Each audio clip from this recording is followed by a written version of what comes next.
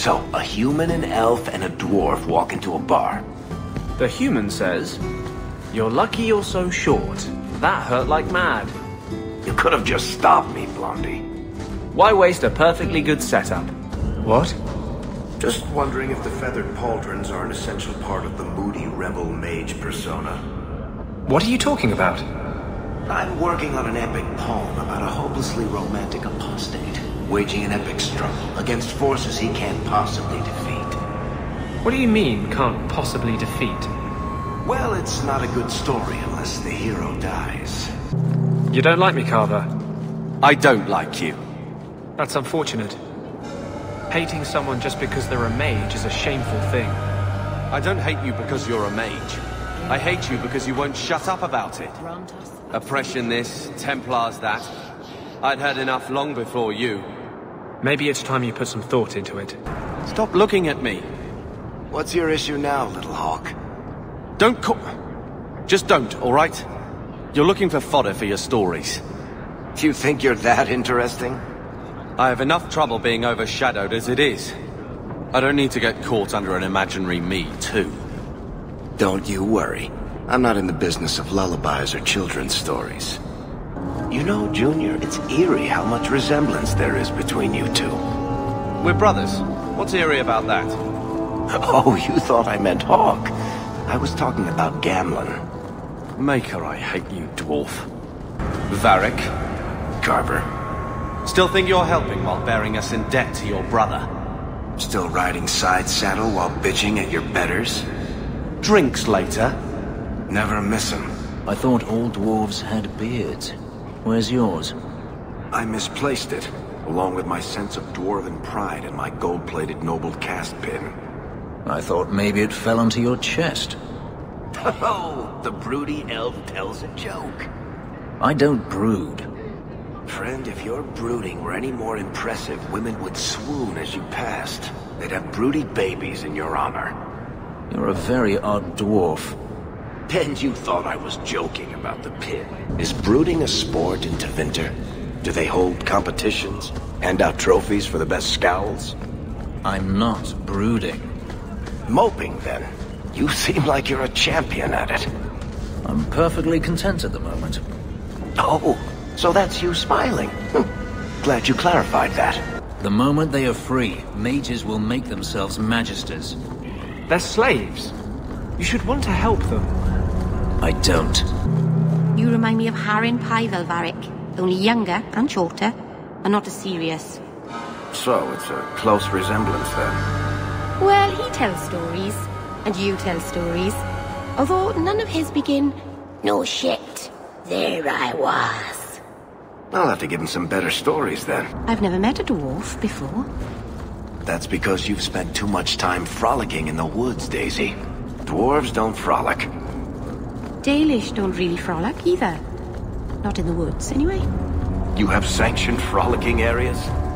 No, just not in the woods. The trees get jealous. But you do frolic. Of course we do. We wouldn't be elves otherwise. Boiling in oil. Uh, too prosaic. Trapped in a cave with hungry bears right at the spring thaw. That lets him off too easy. Dipped in molten gold and left as a statue in the Viscount's Keep. Ooh, that's poetic. What are you two talking about? What to do to Bartrand when I find him. Any suggestions? If you've got something to say, just spit it out. Are you sure you want to encourage me? I might be about to confess my undying love. I get that a lot. So, what's on your mind? I just realized it's been a while since any of the gangs in the Undercity came to my door. They're busy people. Places to go, throats to cut. Maybe you've slipped their minds. Right. The apostate running the free clinic in the sewers. Easy to forget. You didn't have anything to do with this? You must have me confused with someone else. I'm just a businessman and a storyteller. So I hear you've been visiting the Viscount's gardens, Daisy. Oh, they're enormous. And they're always empty. Why don't more people go to see them? Probably because they're private and surrounded by guards. I thought all those men looked a bit cross. You could get another cat, you know. There's one in the Lowtown market with a litter of kittens ready to wean. You don't pay attention to Templars, Qunari, or politics, but you notice kittens. Templars, Qunari, and politics don't meow and attack your feet when you're buying food. Are there any tabbies? I'd like a tabby. Did you ever think about killing yourself? I could ask you the same thing. I'm serious. To get out of slavery, to escape Danarius. Don't tell me you never thought about it. I did not. To kill oneself is a sin in the eyes of the Maker. You believe that? I try to. Some things must be worse than slavery. Some things are worse than death. Oh, cheer up, Blondie. You're making me cry just looking at you. Don't. You made a mistake. It happens.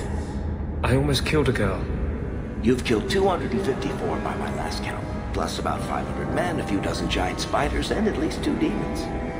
It's not the same. Why? Because this one you feel bad about? Maybe that's the problem. If we had a giant rock to push uphill, this would perfectly sum up my life. Varric, You called? I notice you don't have a nickname for me.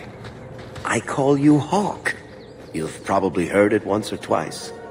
But that's my name. It's not like Daisy or Blondie. All right, Waffles. You really want a nickname? I can hook you up. Waffles?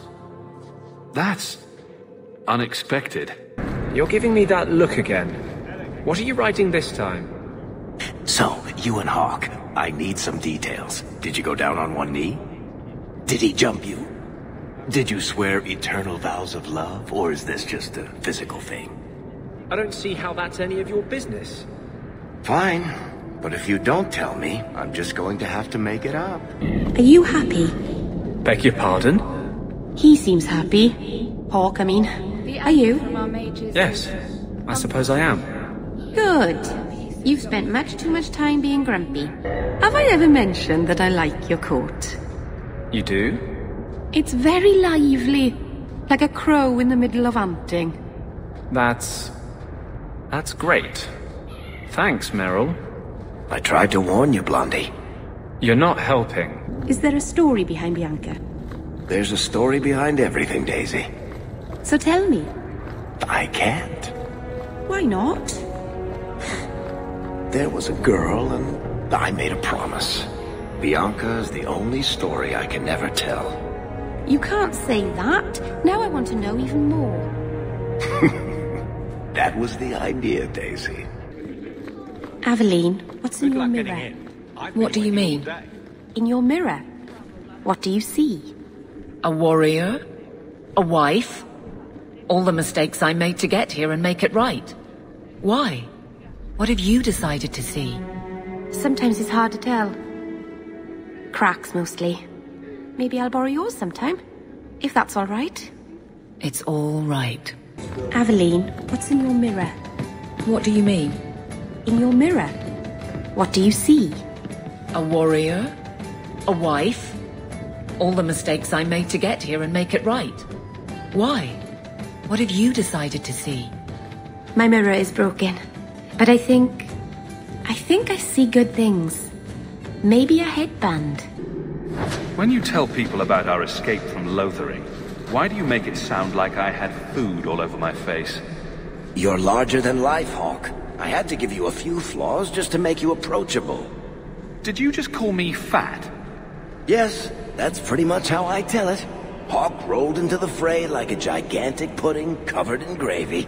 It's more dramatic that way. I'm not sure about the epicness of this tale. Everyone's a critic. Why are you still here, Varric? Starkhaven's too pretentious for me, and Cumberland's too boring. You always say you hate commitment, but here you are, six years later, still at Hawke's side. Dabbling. I thought you'd have noticed by now. I lie a lot. And this array of sculptures is known as scurvy bastards reflecting on modern life. After much reflection, they appear to have come to the conclusion, well, shit.